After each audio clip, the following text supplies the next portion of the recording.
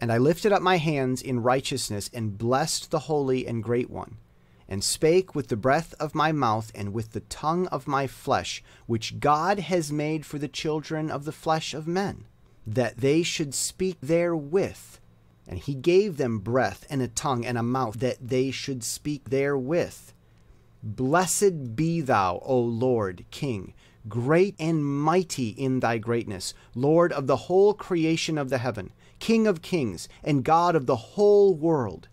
And thy power and kingship and greatness abide for ever and ever, and throughout all generations thy dominion.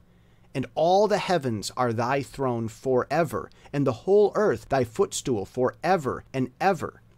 For thou hast made, and thou rulest all things, and nothing is too hard for thee. Wisdom departs not from the place of thy throne, nor turns away from thy presence.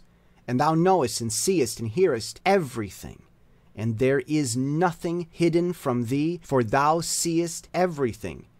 And now the angels of thy heavens are guilty of trespass, and upon the flesh of men abideth thy wrath until the great day of judgment. And now, O God and Lord and great King, I implore and beseech thee to fulfill my prayer, to leave me a posterity on earth, and not destroy all the flesh of man, and make the earth without inhabitants, so that there should be an eternal destruction. And now, my Lord, destroy from the earth the flesh which has aroused thy wrath, but the flesh of righteousness and uprightness establish as a plant of the eternal seed, and hide not thy face from the prayer of thy servant, O Lord.